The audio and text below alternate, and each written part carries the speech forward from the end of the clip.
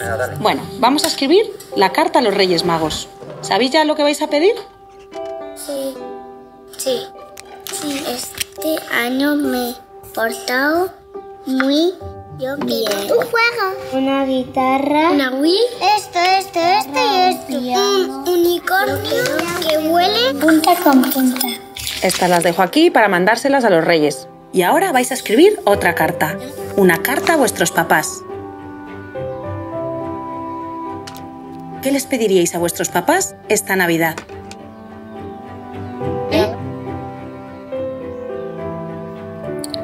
Eh,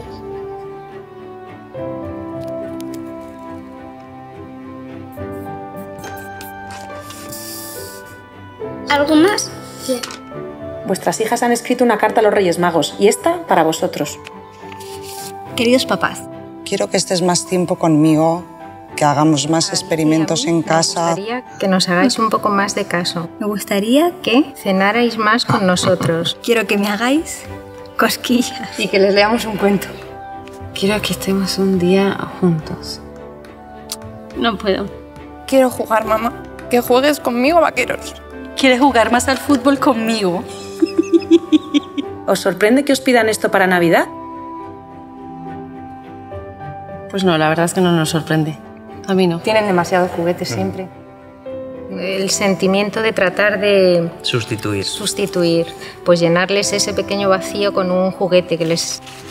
Pasar el, todo el tiempo que tenemos al máximo con nuestros hijos. Pensar que tú quieres darles todo lo mejor y lo mejor es- eres tú.